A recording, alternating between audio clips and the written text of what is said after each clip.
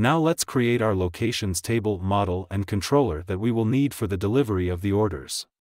First let's use the PHP artisan make migration command. Then we will make the location model and then our location controller.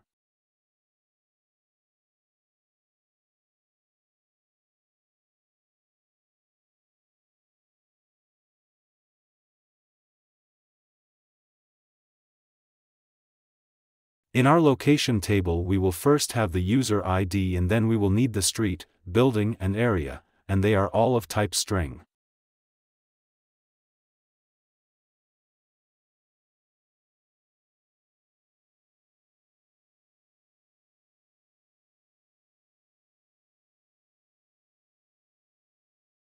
And now for our location model we will add fillable, and inside of it we will add our location table columns, area, user ID, street and building.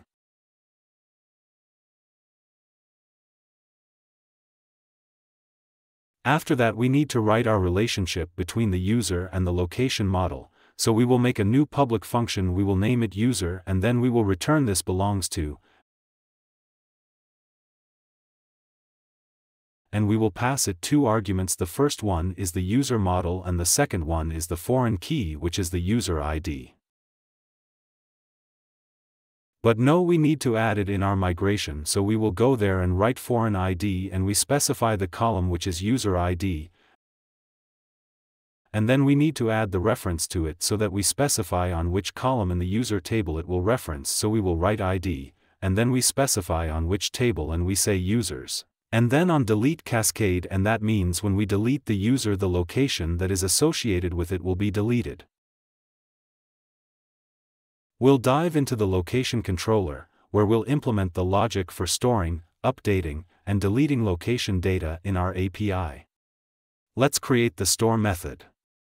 This method handles the creation of new location records. In the store method, we start by validating the incoming request data. We ensure that street, building, and area fields are required.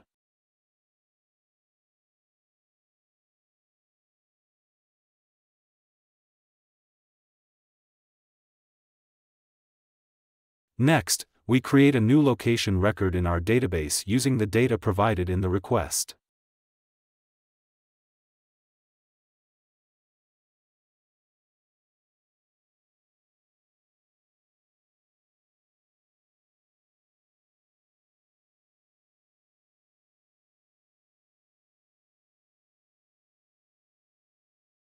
We associate this location with the currently authenticated user by setting user underscore ID to the user's ID.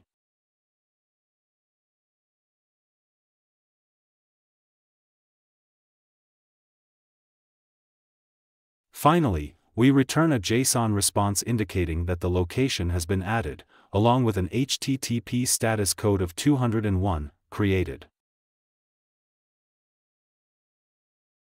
Moving on to the update method. This method handles the updating of existing location records. In the update method, we begin with data validation, making sure street, building, and area are provided. We then attempt to find the location record with the given ID. If the location exists, we update its street, building, and area fields with the new values from the request and save the changes.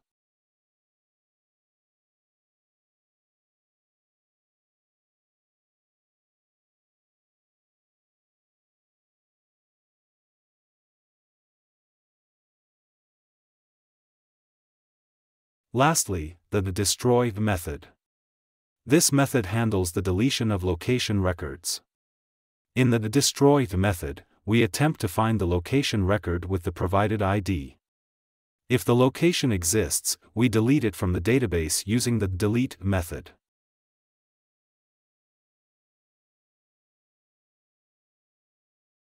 We return a JSON response indicating that the location has been updated.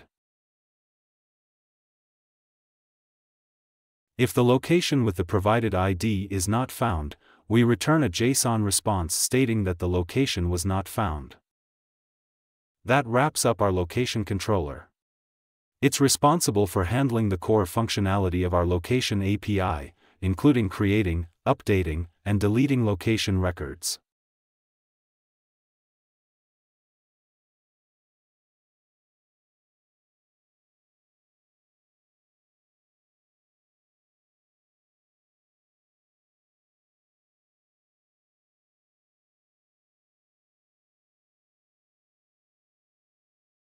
Now let's make the product table, model, and controller using the same commands but we need to add the location to our routes before going to the product.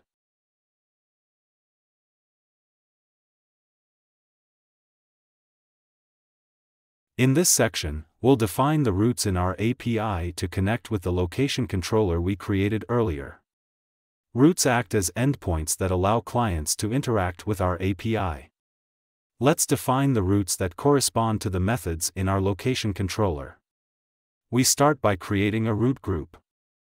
This group allows us to apply common attributes and middleware to multiple routes. The store route is defined as a post request to the store endpoint. This route is responsible for creating a new location record using the store method in the location controller. Next, we have the update route, which is defined as a put request to the update ID endpoint. The update route is used to update an existing location record with a specific ID using the update method in the location controller. Finally, we define the destroy route as a delete request to the destroy ID endpoint. The destroy route is responsible for deleting a location record with a specific ID using the destroy method in the location controller. These routes serve as the entry points to our location API, allowing clients to perform create, update, and delete operations on location records. Now let's dive into the migration code for creating the products table. Inside the up method, we define the schema for the products table. We create the products table with various columns, such as ID, category underscore ID, brand underscore ID, name, is underscore trendy, is underscore available, price, amount, discount, image, and timestamps.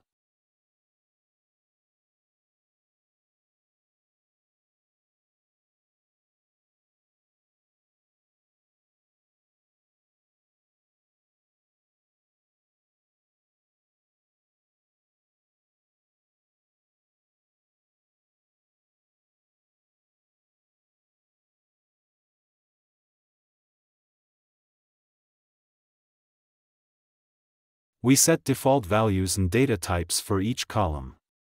For instance, is underscore trendy defaults to false, and price is a double with 8 digits in total and 2 decimal places.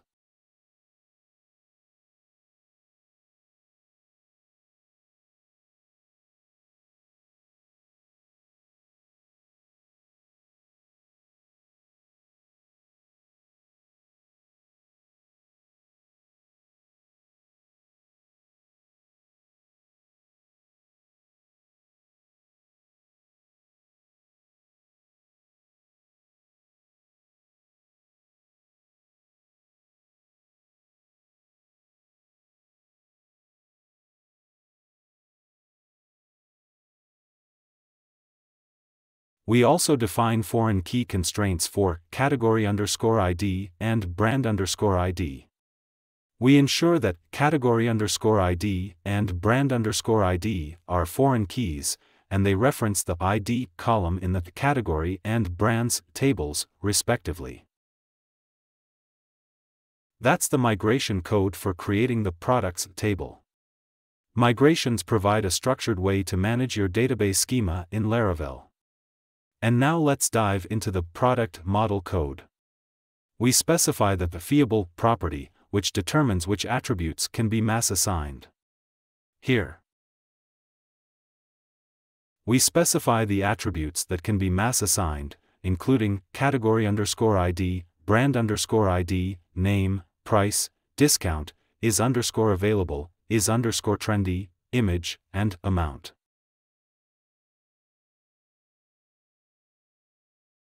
Next, we define relationships with other models. We create category and brand methods, each returning a belongs to relationship with the category and brand models, respectively. These relationships enable us to retrieve the category and brand associated with a product.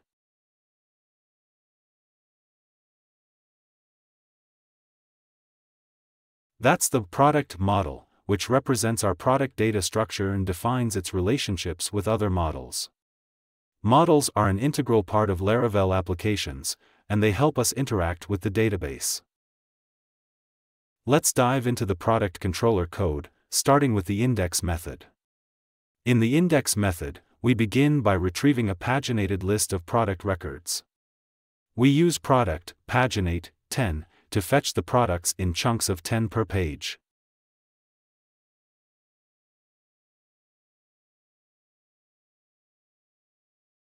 We check if there are products available. If there are, we return a JSON response with the product data and an HTTP status code of 200, OK. If no products are found, we return a JSON response indicating that there are no products.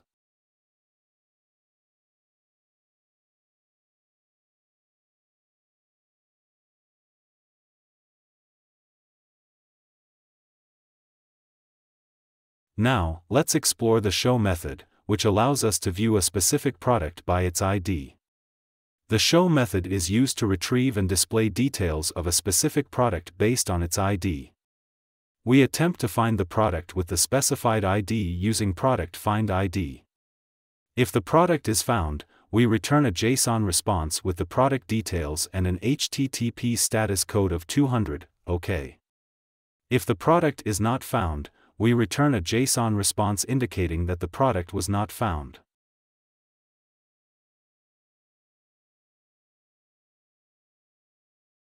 That's the index and show methods in our product controller. These methods allow us to retrieve and view product records. Inside the store method, we validate the incoming request data. We use the validator to ensure that the required fields, such as a name, price, category underscore ID, brand underscore ID, discount, amount, and image, are present and meet certain validation criteria.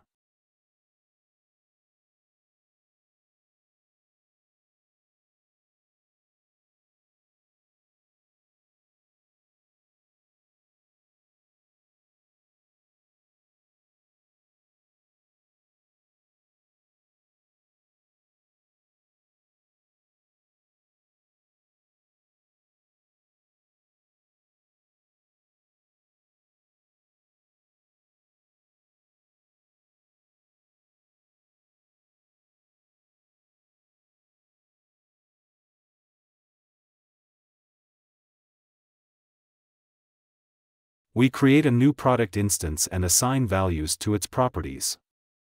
We instantiate a new product and populate its attributes with the validated data from the request.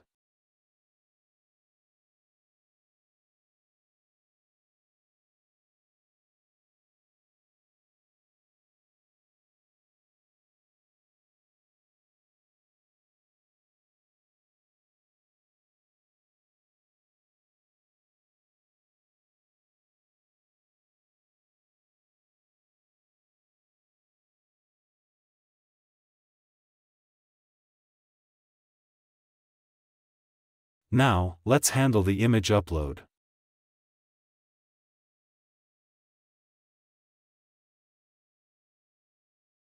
Here, we check if the request contains a file named image.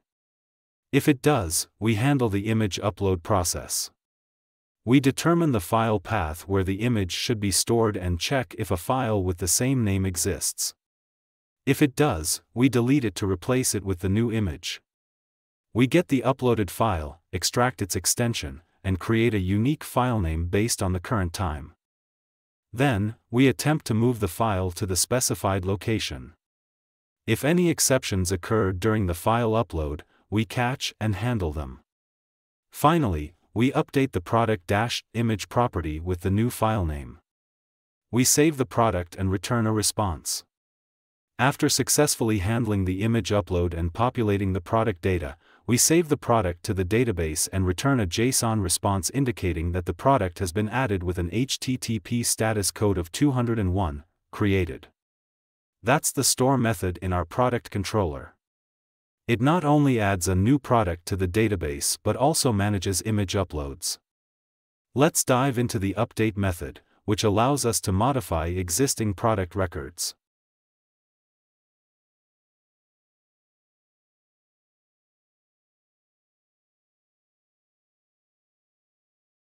In the update method, we start with data validation to ensure that the request contains the required fields and meets validation criteria. We then attempt to find the product record by its ID using product find ID. If the product exists, we update its attributes with the validated data from the request, similar to the store method. We also handle image upload in the same way as in the store method. Finally, we save the updated product and return a JSON response indicating that the product has been updated.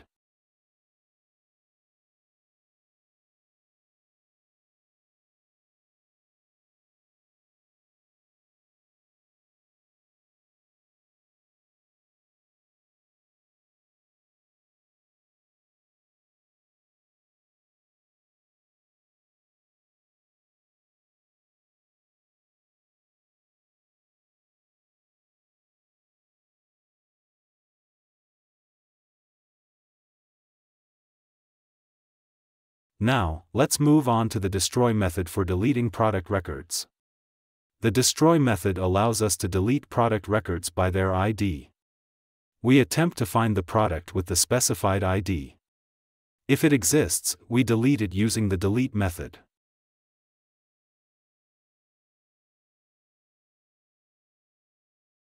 We return a JSON response indicating that the product has been deleted. That's the update and destroy methods in our product controller.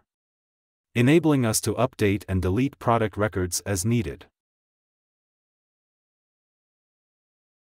We'll define the routes for our website.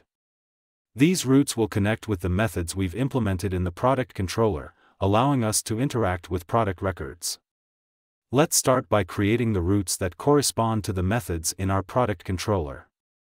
We begin by defining a route group. This group allows us to apply common attributes and middleware to multiple routes. The first route is the index route, defined as a GET request to the index endpoint. The index route is used to retrieve a paginated list of product records using the index method in the product controller. Next, we have the show route, defined as a GET request to the show ID endpoint. The show route allows us to view a specific product by its ID using the show method in the product controller. Moving on to the store route, which is defined as a post request to the store endpoint. The store route is responsible for adding a new product record using the store method in the product controller.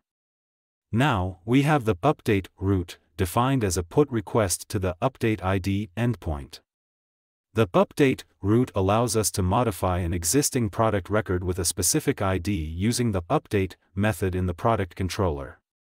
Finally, we define the, destroy route as a delete request to the destroy ID endpoint.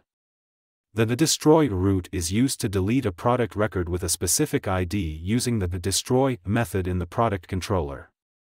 These routes serve as the entry points to our website, allowing us to retrieve, view, create, update, and delete product records.